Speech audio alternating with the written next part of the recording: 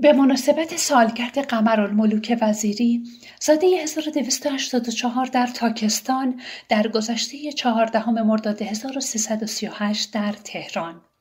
قمر خواننده آوازهای سنتی ایران بود وی نخستین زن خواننده ایرانی بود که صدایش ضبط شد و نخستین زنی بود که در ایران بدون هجاب بر روی صحنه رفت. قمرالملک وزیری در نوع دوستی و بخشش افراد داشت به طوری که اواخر عمر خود را به تنگ دستی گذراند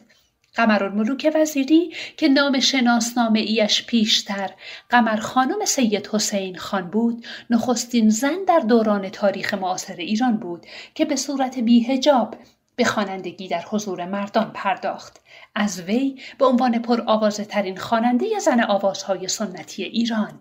یاد می شود.